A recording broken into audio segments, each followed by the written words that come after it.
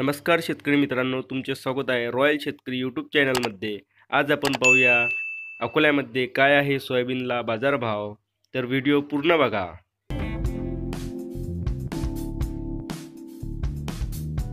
अकोला येथील कृषी उत्पन्न बाजार समितीत सोयाबीनला एक्केचाळीसशे रुपये प्रति क्विंटलचा दर मिळाला. पाच हजार दोनशे अकरा क्विंटलची आवक झाली होती. शेतकऱ्यांकडील सोयाबीन बऱ्याच अंशी विकून झालेले आहे. आता सोयाबीनच्या दरामध्ये चकाकी वाढू लागली. अन सोयाबीनला यंदाच्या हंगामातील सर्वाधिक एक्केचाळीसशे रुपये प्रति क्विंटल दर मिळाला. सोयाबीनला कमीत कमी एकोणतीसशे व जास्तीत जास्त एक्केचाळीसशे रुपये दर मिळाला. तर एकोणचाळीसशे रुपये हा सरासरी दर होता. येथील कृषी उत्पन्न बाजार समितीमध्ये एक्केचाळीसशे रुपये क्विंटलने सोयाबीन विकले गेले. सोयाबीनची आवक पाच हजार दोनशे अकरा क्विंटल झाली होती.